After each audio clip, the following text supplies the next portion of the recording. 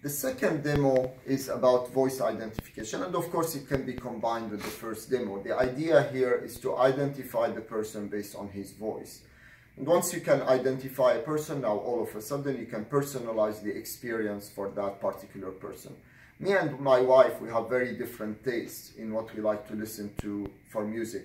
As a matter of fact, I have a different taste depending on the day of the week. Today is a Friday afternoon. I'm really tired after a long week and I like to come back and listen to some relaxing jazz music while I'm drinking my whiskey at home. So I just purchased this device, I get home, I'm like, uh, hi, I would like to uh, listen to some music. It analyzes and it detects that I'm a new speaker. Uh, now it's going to ask me to de uh, define my profile and I'll quickly do that in here to demonstrate the idea. I set blue as my uh, background. My wife gets in here and now we need another person. Maybe you'll decide, Shen, on... Uh, can you, just for the demo, we're not going to be able to Hi, my name is David. Can you please show me some nice movies? So can, uh, yeah, so uh, Shin can select his profile. He selected the green color.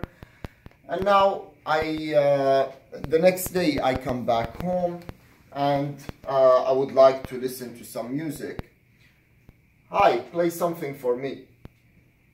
So now you can see uh, it uh, remembers me uh, based on my voice and all of a sudden it's gonna switch in this case to the blue profile. Now the same concept of since it recognizes it me, it can give me recommendations such as like I was mentioning earlier playing jazz music or whatever it is and if it's my wife then maybe it's gonna play classical music instead.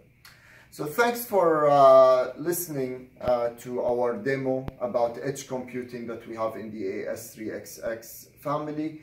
Please don't hesitate to contact your uh, Synaptics account managers for any questions that you may have about our family and we look forward to working with you on defining next generation products.